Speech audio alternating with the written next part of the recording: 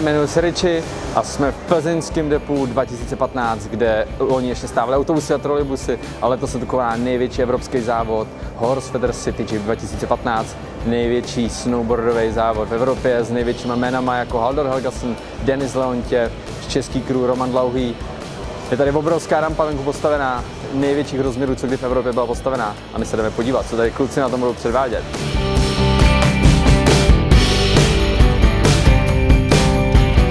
Bude to určitě super, jsme rádi, že jsme po sedmi letech zpátky.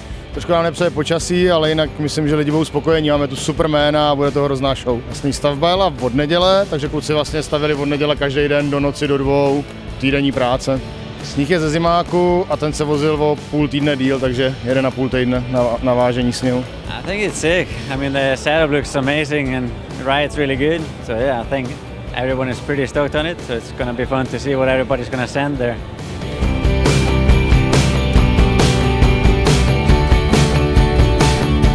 Dneska se dělají takovéhle setupy, ale abych pravdu řekl, tak uh, takovejhle extrém jezdím poprvé. Jsou tam dlouhý raily, je to zajímavý setup, hodně zajímavý. It's really fun, man. Uh, the practice was a lot of fun.